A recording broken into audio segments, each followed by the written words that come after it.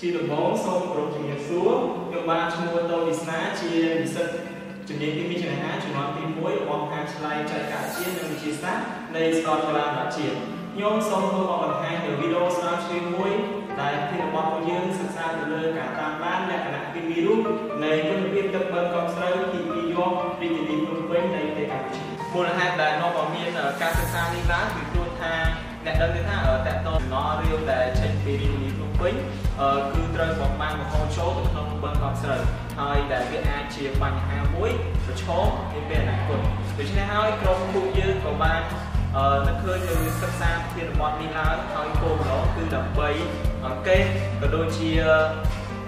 តាមដានទៅលើលក្ខណៈគីមីរូបនៃបឹងកោះស្រូវទាំងរដូវប្រាំងនិងរដូវវស្សា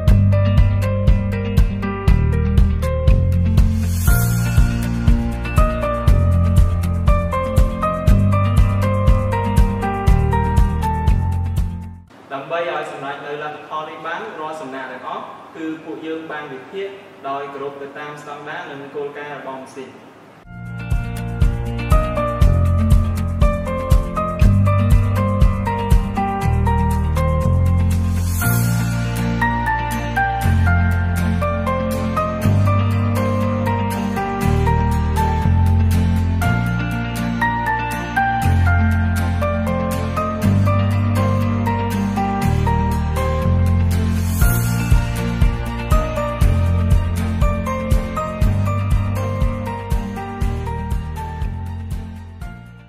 ជាលទ្ធផលនៃការសិក្សាស្រាវជ្រាវរបស់យើងចំពោះបរិមាណកក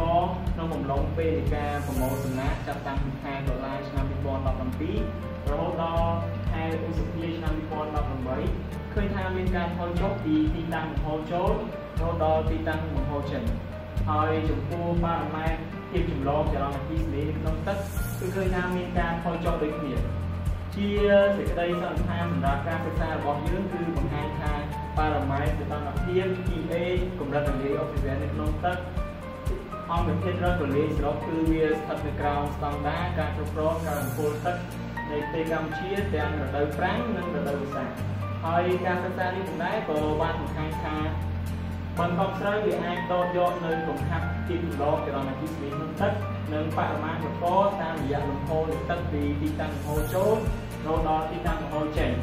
ហើយដែលវាអាចដើរតួនាទីជាបឹងប្រវត្តិកម្មបែបធម្មជាតិទីជាយកនៃរាជធានីភ្នំពេញ